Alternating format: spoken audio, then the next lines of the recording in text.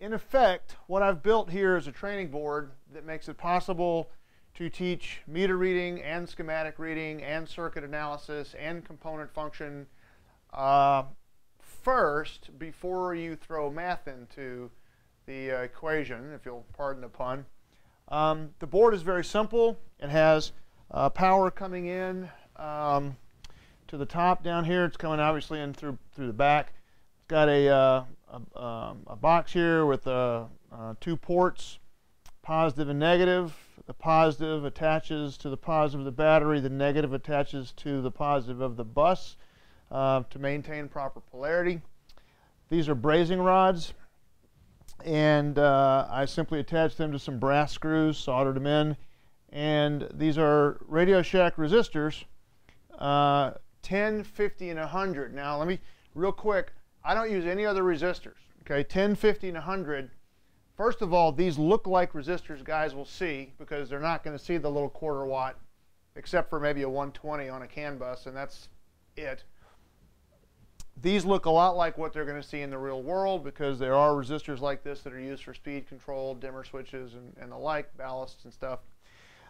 The reason I chose 10, 50, and 100 is because of the ratio. And if you get into the math, you remember Ohm's law, uh, the, the voltage drops and the resistances are proportional. So the 50 ohm resistor would drop the same as this 50 ohm resistor, but it would drop uh, five times more than this 10 ohm resistor. Okay, so you can teach these guys when it gets down to when you get down to the math, you can teach the proportions of it very simply because you'll see them and be able to recognize the two uh, two to one, five to one, um, and 10 to one. You'll be able to see those pretty clearly. But the idea is that this exposes the system for voltage readings because you will read voltage across any open circuit in a otherwise complete circuit. So if we attach the voltmeter here, you see that we get a voltage and we got 12.72. Okay. Um, not doing so well with videotaping here. Anyway, 12.72.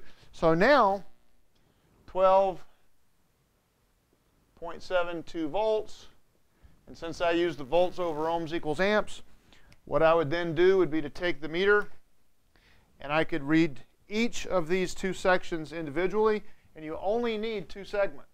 You don't need the sheets with the 400 resistors on them. This, this is all you need because this is a parallel path and this is a parallel path. You have multiple parallel circuits here, parallel circuits here, but then this is in series with this. So you can teach everything you need to know about parallel and series um, and here. And if you only want to use one side, then you just put a jumper in and uh, you bypass the whole section. At any rate, what you would then do is flip the meter over to ohms and read your resistance. And in this case, the resistance is 35 ohms. Okay? Um, obviously, if I pull things out, my resistance changes. So I can show them a lot of different things. If I pull the 10 out, it's going to go up pretty high to 76. But if I put this 10 back in, obviously it's going to drop down. So I can write my 35. And then I would take the calculator and I would do 12.72 divided by 35 equals 0.363. Okay, always double check. So I should be getting 0.363 amps. And here's the cool thing 0.363 amps. They've done all the math here right in front of you so you can see it. And then we put the meter back in the switch box here and we go to amps. We flip the meter to amps. See, they're learning how to use the meter here as well. And we get 0.36 in effect, you can look at this and see what I'm trying to do here because it creates a, a, a learning experience that's much more hands-on, much more realistic, and it, it gives these guys a chance to, uh, to learn more than just the math and to understand that Ohm's law is more than just a math equation. The way that you put these resistors in, up to you. I used alligator clips and springs you don't even you just wires, you know, whatever works. You could make these things smaller, make the board smaller so the resistors would just fit. I, the reality is there's a thousand different ways to build this, but functionally it works really, really well because you have voltage, resistance, and current instantly, and they're learning how to read the meter.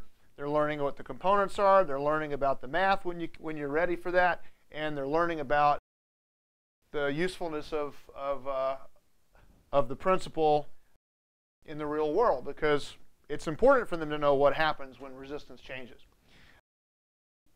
So that's the uh, the other thing. You can use this for schematics uh, as well because they can build actual um, OEM circuits. The when it comes time to teach the math for the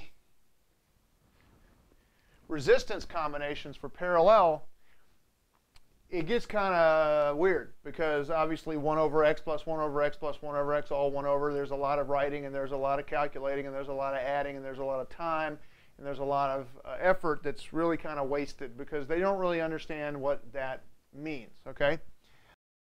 And for those of you who are interested, the reason the resistance goes down with the inverse formula is because the bottom of the equation, the bottom of the fraction gets bigger. Okay, so if you ever think about it, the 1 over 1 over blah, blah, blah, all those numbers on the bottom make the bottom bigger, which makes the total answer smaller. That's why the resistance drops. At any rate, my advice is to use the 1 over x button, the inverse button, okay, because we tell them that resistance is inversely proportional to, or current is inversely proportional to resistance.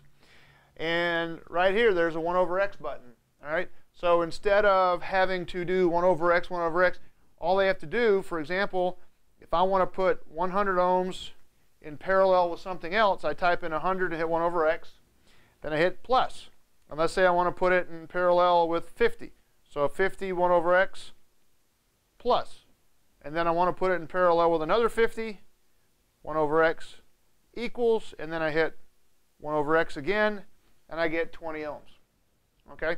So I would be able to get 20 ohms much faster than if I had to write down all these numbers, 1 over x and 1 over x and 1 over x and add and then flip it over and put memory and use memory. I'm just going to be honest, guys, that's a complete waste of time, okay? Because they learned the formula for R1 plus R2 plus R3 plus R4, right? But they've all used calculators in school. So instead of using all that inverted math, just do R1, 1 over x, plus R2, 1 over x, plus R3, 1 over x, and then it equals, and then 1 over x. Because it doesn't take a lot of effort, I think, for someone to look at this and realize what it is I'm trying to accomplish.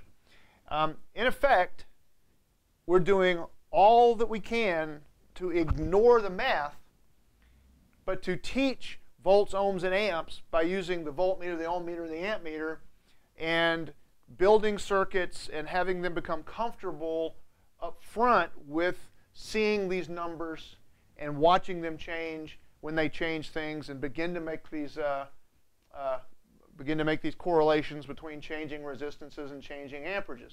But uh, whiteboards are cheap. Wiring is cheap. Brazing rods available at your local welding shop. That he doesn't need to know you're borrowing the brazing rod. But this is incredibly simple to build, and it's incredibly effective at getting guys involved in learning Ohm's law, the concept, before they learn Ohm's law, the math. And um, if you can accomplish that, you're going to gain two weeks by eliminating all of that math up front and uh, they're going to end up being a lot more competent and confident uh, at the end of the class. And that's what we need out in the field. We need guys who understand this concept and can apply it. And um, this is a really good way to try and make that happen.